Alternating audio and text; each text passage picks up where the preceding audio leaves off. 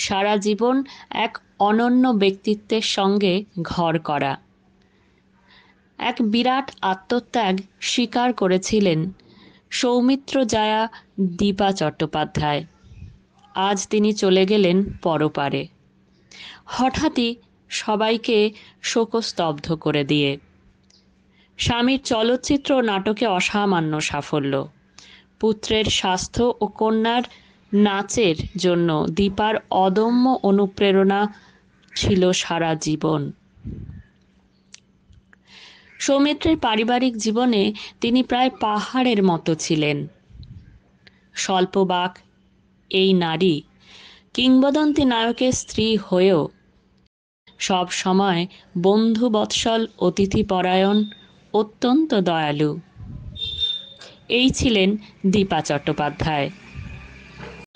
কিংবদন্তি নায়কের সাফল্যের অন্যতম প্রেরণা তিনি। নিজেই বেছে নিয়েছিলেন এই আড়ালের জীবন।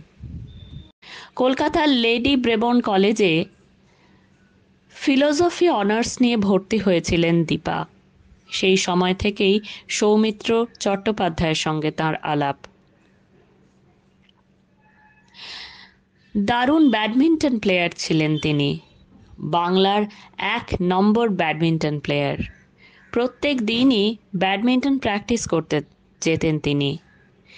কিন্তু সৌমিত্রের জন্যেই তিনি ব্যাডমিন্টনের ক্যারিয়ার সম্পূর্ণ বিসর্জন দিয়েছিলেন। গত বছরই চলে গেলেন সৌমিত্র চট্টোপাধ্যায়। দীপা চট্টোপাধ্যায় দীর্ঘদিন ধরে শয্যাশায়ী ছিলেন। তার চিকিৎসার দায়িত্বও নিয়েছিলেন মুখ্যমন্ত্রী মমতা বন্দ্যোপাধ্যায়। কিন্তু আজকে সবাইকে শোকস্তব্ধ করে দিয়ে তার এই চির ঘুমে ঘুমিয়ে পড়া অনেকেই আর মেনে নিতে পারছেন না। তার আত্মার চির শান্তি কামনা করে শর্মিলা শো হাউস